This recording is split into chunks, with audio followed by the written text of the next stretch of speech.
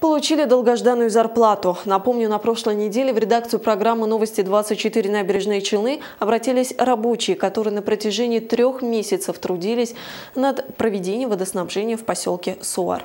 По их словам, подрядная организация ПСК «Софит» не выплатила положенных им денег – 120 тысяч рублей. Ее руководство само вышло на связь и заявило, что трудового соглашения с рабочими не было. Договор был заключен с субподрядчиком, которому и перечислились деньги. На данный момент задолженности компания перед рабочими не имеет. Декорстрой выполняли работу согласно этих договоров. Работы выполнялись поэтапно, деньги также перечислялись. На сегодняшний день я могу сказать, что деньги перечислены э, полностью значит, э, по этому объему. Кстати, совсем скоро долгов у ПСК «Софит» не будет и перед жителями поселка, заявило руководство подрядной организации.